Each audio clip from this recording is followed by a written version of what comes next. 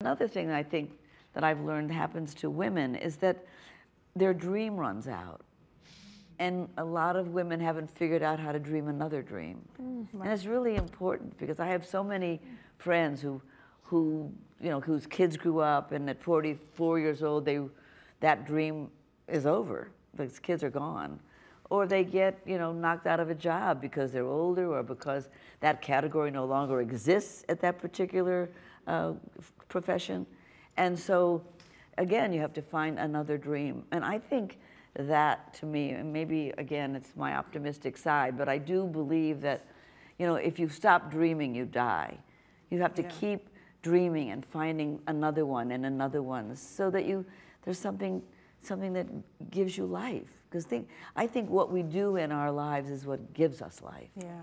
And for me, working as an actor, especially on the stage, is life-giving